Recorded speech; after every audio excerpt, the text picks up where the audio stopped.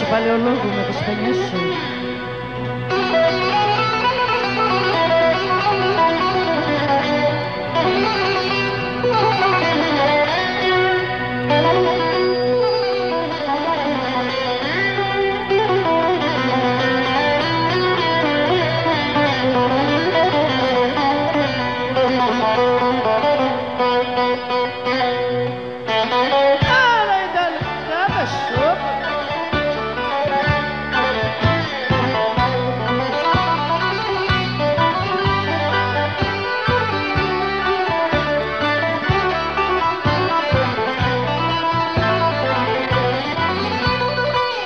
Θα ανέβω και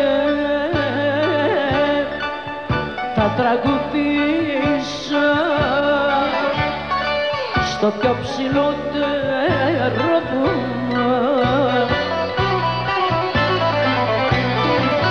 να ακούγεται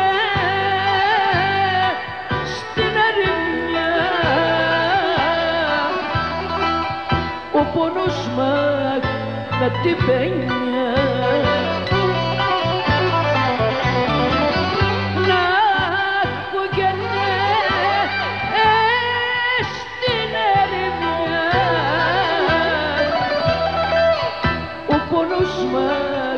με την πένια Α, όπα.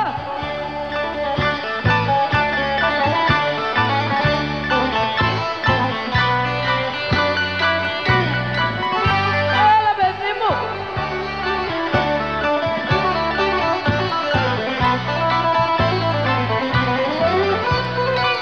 με το που θα γίνω και με τα πεύκα συντροφιά.